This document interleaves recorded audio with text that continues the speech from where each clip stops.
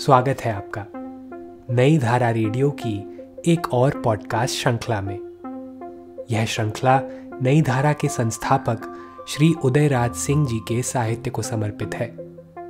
इस पॉडकास्ट में आप सुनेंगे उदयराज जी द्वारा लिखी कहानियाँ, संस्मरण व लेख। सुनना न भूलें नई धारा रेडियो पर।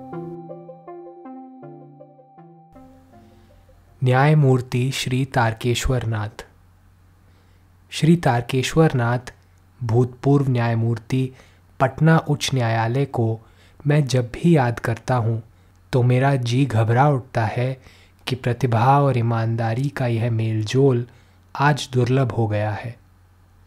तारकेश्वर बाबू, बिहार के नामी गिरामी महाधिवक्ता महावीर प्रसाद के भांजे थे। उन्होंने महावीर बाबू से वकालत की ट्रेनिंग ली। वे दोनों प्रतिभा के ऐसे धनी थे कि एक दूसरे के पूरक बने। तारकेश्वर बाबू एक ईमानदार व्यक्ति, आध्यात्मिक पुरुष तथा संवेदनशील मानव पहले थे। एक महान विधिवेदता पीछे।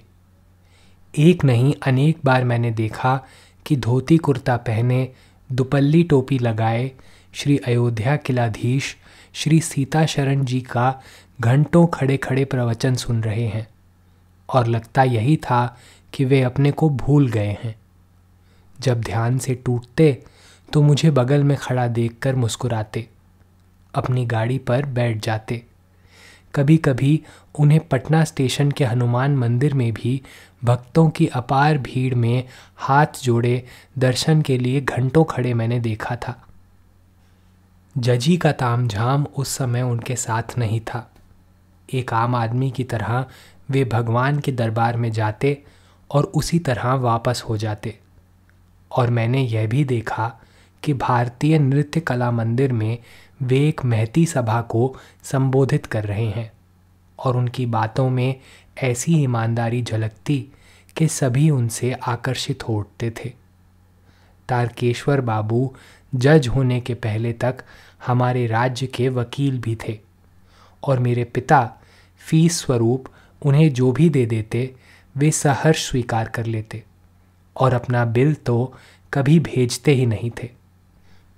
उनमें इतनी विनम्रता थी कि मुझे बराबर हैरत होती थी कि न्यायमूर्ति का पद कैसे संभाल सकेंगे, पर उनमें ऐसी क्षमता थी कि उस पद की गरिमा को उन्होंने बढ़ाया और वह पद उन्हें पाकर गौरवान्वित हुआ।